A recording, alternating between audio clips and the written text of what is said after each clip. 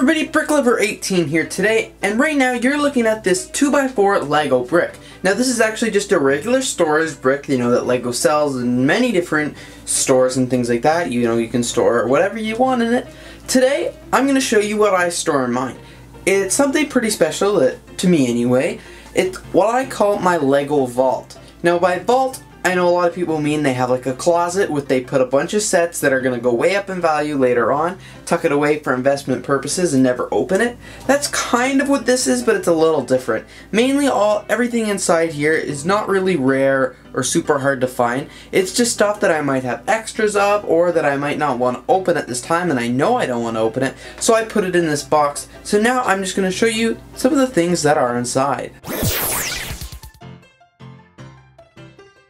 First off, we better take off the lid. So there you go, as you can see, you just sort of all the different things that I have in it right now, and I'm going to show you each individual thing and just kind of say why I have in there, maybe, I guess. I don't know. So first up, I have a couple of these Brick BrickLover 18 magnets. Now, I ordered 10 of these, and I gave a lot of them away in a couple orders. So that's what I kind of just use them for. If somebody that I know from YouTube orders from me or something like that, I'll include one of these magnets in your order just for fun. I had nowhere really else to put them, so I decided I'd put them here. Here I have a couple of these Lego Movie stickers. These came out when the Lego Movie did, like way back in 2014. They're pretty cool stickers, like they're holograms. They came in like Lego Shop at Home orders.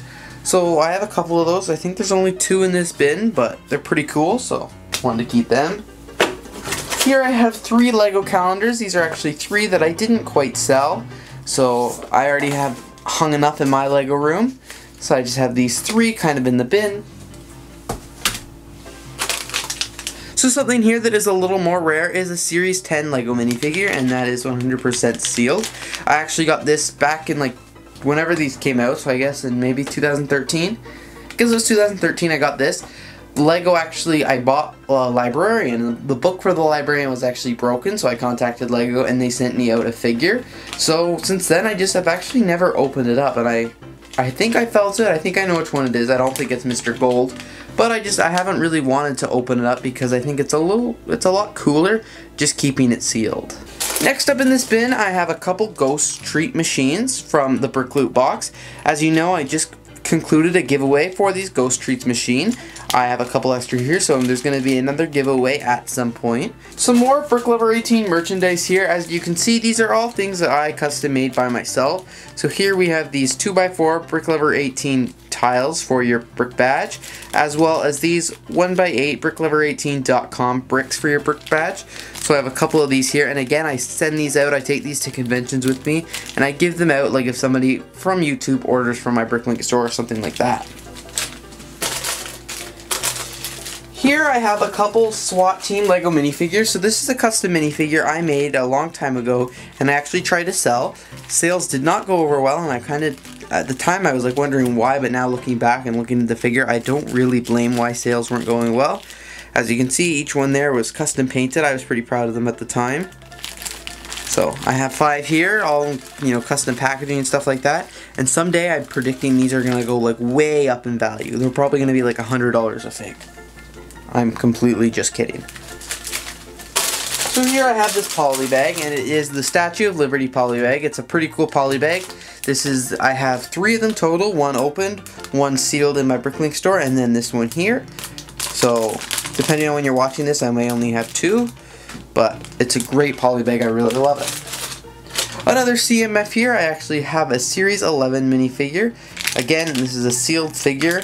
Uh, I'm not sure why I have a sealed one of the series, but I know I do. So that's pretty cool. Here I have this Knights Kingdom poly bag. This is an older poly bag, like it's not very rare or anything like that, but still a pretty cool poly bag. It doesn't really fit the theme of stuff that I have in my Lego room, so that's why I've never opened it. But it's still such a cool bag, there's no way I'm to sell it. Here I have this little keychain that usually was on clearance from like Lego, Lego stores, Lego Shop at Home and things like that for like $4.99. Pretty cool keychain. Would never put this on my bag or anything like that just just because, but I like the build so I still bought it while it was on clearance. I just found I have another Ghost Treats machine there. Here I have a Lego salt and pepper shaker. I bought this a little while back. I actually bought two sets, one for me and one for my grandma who collects salt and pepper shakers. She's got a, quite a large collection of them, so I bought her that as kind of a cool gift. I actually never opened my set yet. I may or I may not someday. It is pretty cool. I have these two BrickArms offensive combat packs. They have a bunch of different weapons in each pack there. They've never been opened. They're sealed pretty cool. I got them on gibrick.com and if anybody's ever looking for any BrickArms or things like that, I can actually buy them for you at a 10% all-time rate. So just contact me or email me if you're interested in that. Next up is this poly bag. It's at number 30313. I actually originally won this poly bag, the one I built from Buildmeister in a giveaway on Instagram. And then since then I actually got two for Christmas. So I think I sold one and I have this one here just because it's such a cool poly bag. The one I got from Buildmeister, I built and like put it in my city and things like that. But this one I got for Christmas, I just still kept sealed because that's a cool bag. This next set here is set number 6006 this Lego City Elite Police, you know, ATV chase. It's a pretty cool set. I think I had like three or four of these just because I really like the different pieces and stuff that it came with. Next up here is set number 40090, this bat. So I actually bought this bat from Talk at Philly Brickfest. She gave me a really awesome deal. So I got two of them. I built one of them and I have this one sealed. I just want to keep it, you know, with all my parts because it's a pretty cool bat. Really like this set. Here I have another Star Wars keychain, or another keychain, and this time it is a Star Wars one. So this one is Anakin Skywalker, pretty cool, pretty cool keychain. I have another box set, and then it's set number 4427, this Fire ATV. I had a couple of these. I built one, and I wanted to keep the other one sealed because, again, it's a pretty cool set.